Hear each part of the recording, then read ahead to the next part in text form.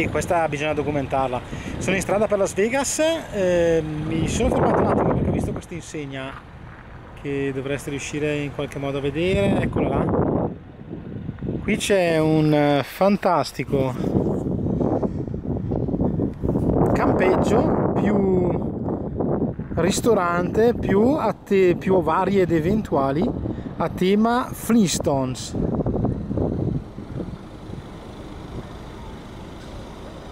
vi faccio notare che ci sono pure i, le ossa come paletti. Marrocar e, e adesso vado a spiare che cosa c'è laggiù. Vabbè non avevo la minima idea esistesse questo posto. È sulla strada che da Williams va verso Grand Canyon.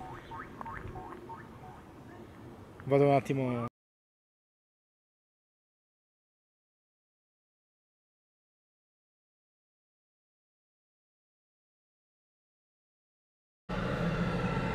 Come potete vedere abbiamo raggiunto le mille miglia percorse.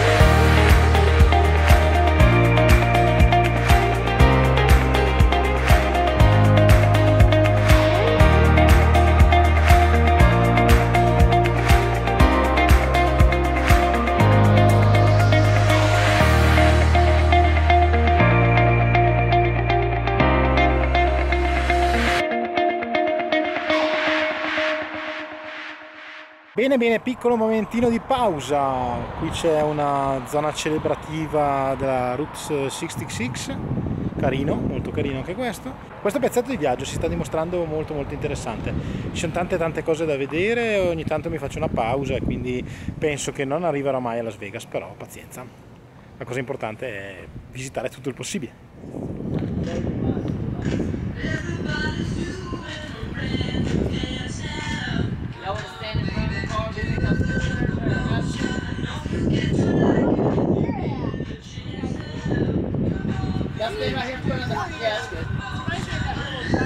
Ciao a tutti, sono in mezzo alle montagne che separano l'Arizona dal Nevada, eh, anche qua spettacolare panorama.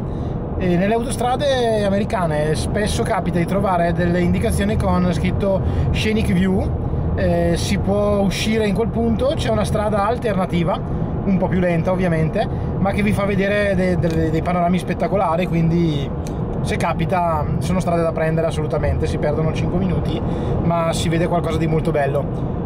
Eh, farò una piccola deviazione andare, andando a vedere la diga prima di andare a Las Vegas, mancano circa 80 miglia, quindi un'oretta, 45 minuti e niente, ci si vede dopo.